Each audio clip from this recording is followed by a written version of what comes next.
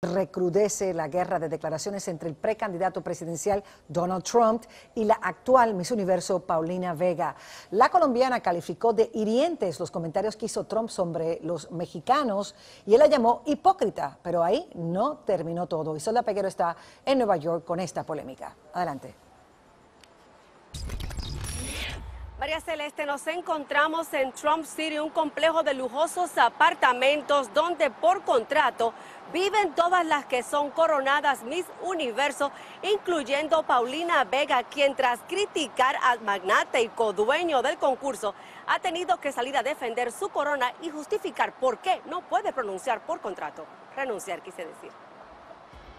Defendiendo a capa y espada su corona, la Miss Universo colombiana Paulina Vega, en una entrevista con Caracol Televisión Colombia, dijo hoy que no debe ni puede renunciar a su título como la mujer más bella del mundo. No voy a cambiar el rumbo de mi vida simplemente porque él decidió ser candidato a la presidencia y ahora eh, está diciendo comentarios que no comparto y, visiones que no comparto respecto a gente. El encontronazo entre la reina de belleza y el magnate Donald Trump se desató luego de que Vega dijera en su Instagram que los comentarios de Trump hacia los inmigrantes eran ofensivos e hirientes. El empresario le respondió por Twitter tildándola de hipócrita por criticarlo, pero retener la corona. Pero ¿por qué sí renunciar? Eh, yo creo que puedo hacer eh, más con esta gran plataforma.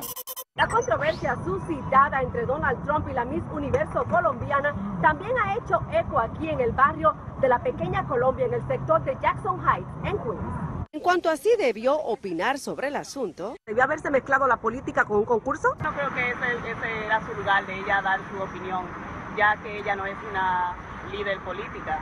Más bien es el hipócrita porque sigue haciendo contratos y negocios con latinos. El tiempo dirá cómo termina el enfrentamiento entre la reina y el magnate. María Celeste, con el mismo teléfono celular con que grabamos nuestro reportaje de hoy, les voy a mostrar el comunicado extenso que mandó hoy el magnate Donald Trump para justificar sus comentarios y decir que han sido sacados de contexto porque dice que él nunca quiso referirse a los mexicanos en particular, sino a todos los tipos de inmigrantes que cruzan a Estados Unidos a través de la frontera mexicana.